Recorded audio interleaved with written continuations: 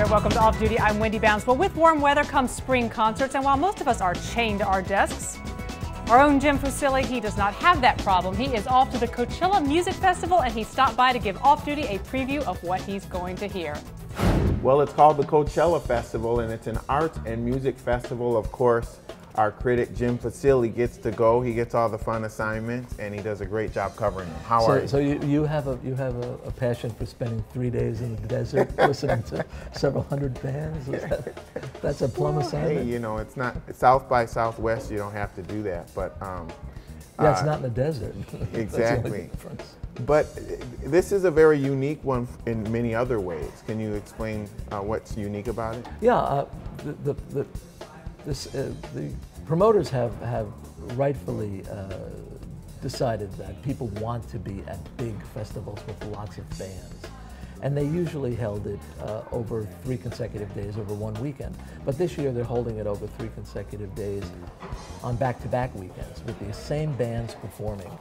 So, uh, you know, it's not like they cut the tickets in half for the first weekend.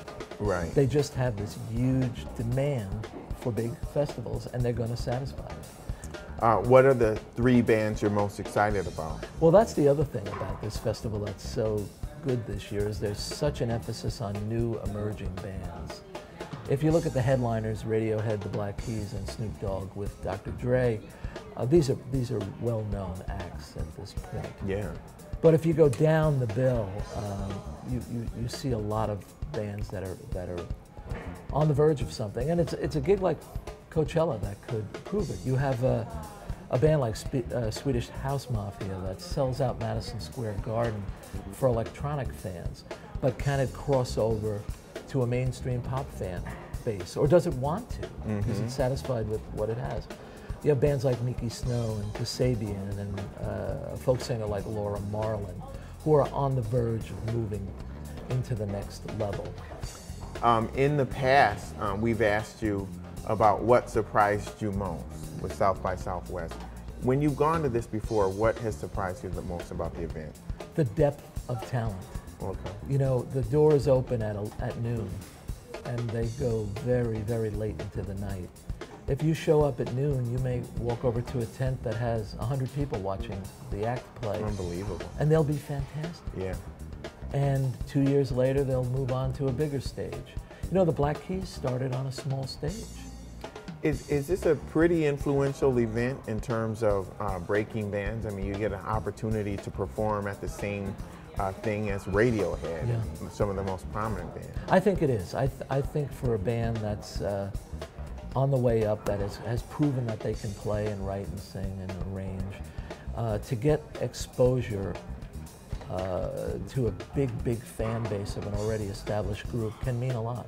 Mm -hmm. And the industry is there also, and that's another big thing. So they stay in the tents, all the all the executives, the A and R's, and they, they, they, move around. There are two huge, two huge outdoor stages, and generally thousands and thousands and thousands of people congregate in front of those two stages.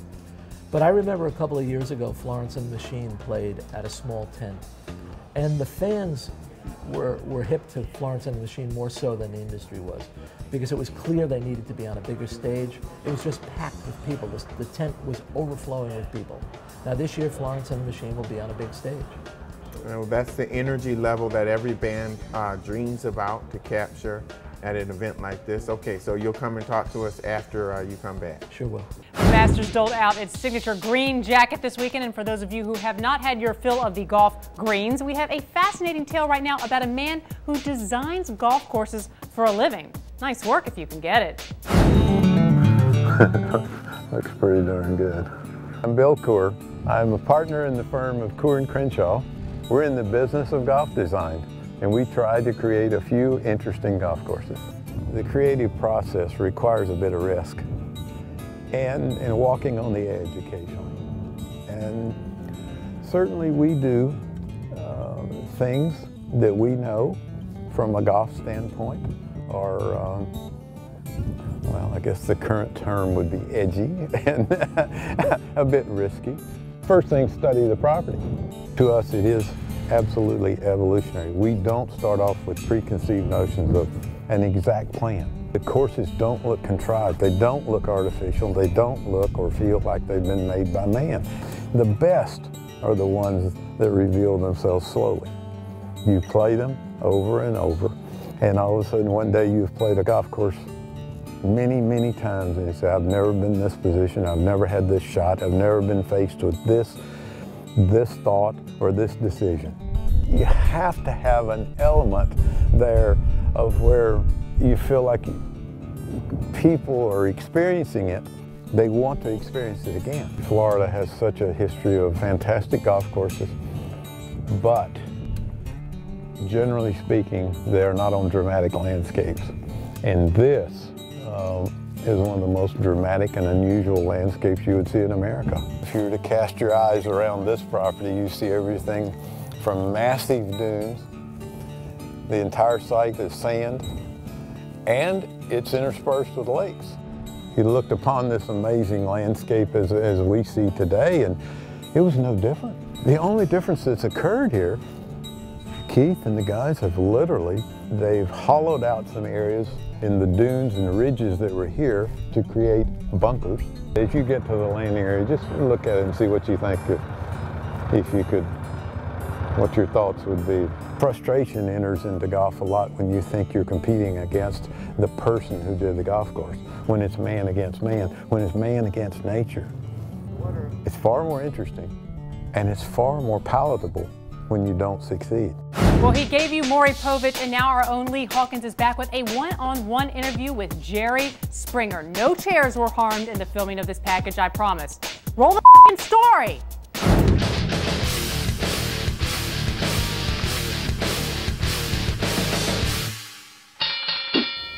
It's very difficult in today's world to, to beat the president. There's just, you know, whichever party. I, no, I, yeah, I, I think Obama will win. This is a side of Jerry Springer that we rarely see, but for those of you who think you know Jerry Springer, you probably don't know the fact that he actually was a politician and he actually has a law degree and practiced law. We're sitting with him today to talk about his career and all the things he's done. Well, thank you. So if you have a legal problem, call Jerry at 1-800. no, I'm teasing. and, and, and, we were talking about politics. I was going to do a formal introduction, but I think uh, that was a good way to start it.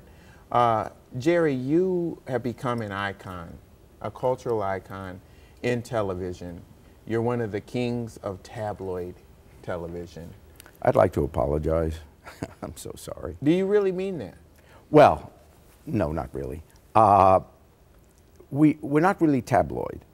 And, and what I mean, but we're crazy and stupid.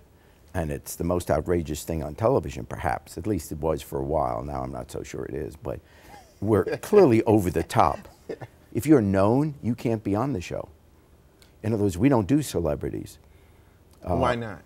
because our show is, by definition, about regular people involved in outrageous situations. Or, right, okay. So we don't, you know, other shows get famous guests. If you're known, you're not allowed to be on the show. And so once again, this is an everyday man's Shakespearean tragedy played out before. The guests may not use that term, Shakespearean tragedy. But you have a lot of the same themes. Yes. I as you may know, there's an opera out, or has been out. It came out in England for several years, and now it's been touring the States. Uh, Jerry Springer, the opera, which I have nothing to do with. It's about me, but I didn't, and about our show, but I had nothing to do with to it. To add one more thing to all the things you're doing. well, that's because my mother always wanted me to have culture. So now I could say, Mom, I got culture. I'm an opera. no, but uh, and what the opera is, you know, at first you say, how can you have an opera? and the Jerry Springer Show in the same sentence. And yet, I always thought country music was my show put to music. But once I saw the opera, I realized, oh my gosh, opera is my show put to music. Mm. Because it's got all the traditional themes of opera. Uh, it has the chanting chorus, the gender misidentification, the mock tragedy, the farce, um, the comedy, the anger. So everything you see in going to a, an opera, you see on our show, except without the music. We can't afford the orchestra, it's so expensive. before, before they step on the carpet, their lives have been horrible. They step out there, all of a sudden, They're in the light. they've gone to heaven. It's um, common to say, oh, they want their 15 minutes of fame, you know, Right. the Andy Warhol line. But that's not true at all because, first of all, they don't get any fame because they even use fake names or they can wear disguises. So there's no fame from this. How long will you be doing this? I have let uh, NBC know that I am stopping uh, when I'm 104. Okay. So that's it. Because I want to be able to re- enjoy my retirement.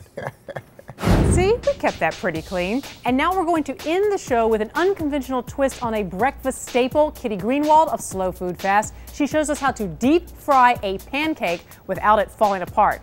This I gotta see. Hi, I'm Kitty Greenwald and this is Slow Food Fast. Today we're making a recipe from Martin Picard up in Montreal and it's a recipe for deep fried pancakes with maple raspberry cream syrup. So it's a regular pancake batter more or less except it takes cornstarch. Here we have two cups and two tablespoons flour. To that I'm gonna add two and a half tablespoons of cornstarch two teaspoons baking powder, a pinch of salt. This recipe doesn't call for much sugar because the maple syrup has enough sugar to carry the dish. So I'm gonna whisk that together first. All right, I'm gonna beat three eggs and two cups milk. This recipe does not skimp on calories and I recommend you not worry about it. So whisk that till it's well blended. It's good to beat them well enough so that the whites and the yolks become as uniform as you can possibly get them. And now we mix the two together. You can stir the wet into the dry or the other way around and slowly incorporate it. This is sort of the kid-friendly part. After this comes together and you get as many lumps out as you can, I'm gonna let that sit. So now we're gonna heat the oil over medium heat. And this is about two inches of canola oil. You wanna keep your oil at a regulated temperature. And in this instance, it's around 350 degrees. And it's hot oil, so you do have to be careful. When frying, you do not want to be distracted. So I'm gonna set up my station, basically. So the oil's been on for a few minutes and we can do a test run. What you want is to just put in a little bit and see what how the reaction is. So it's starting to fizzle a bit around the edges. That's sort of the right temperature. We're gonna do about a quarter cup of batter per cake and just pour it in. So I'm not putting in more than three. Also, there's not really that much space. I have a bowl nearby so that you can easily skim. So I'm spooning the hot oil over the cakes. It helps ensure even cooking. So now you're cooking the top and the bottom. And let it fry for about two minutes per side. You want a rich golden color on the outside. Okay, good. That looks good, right? And then you get a rhythm going. You don't want the burnt flavor in the oil, so you want to get those like little crispies out of there. So I think that is the very definition of golden. And now we're gonna quickly assemble the maple syrup. I'm gonna move the oil to the side, bring this pot over. Add one cup of pure maple syrup. Once that comes to a boil, add the cream. It'll bring down the temperature right away. And then stir in your raspberries.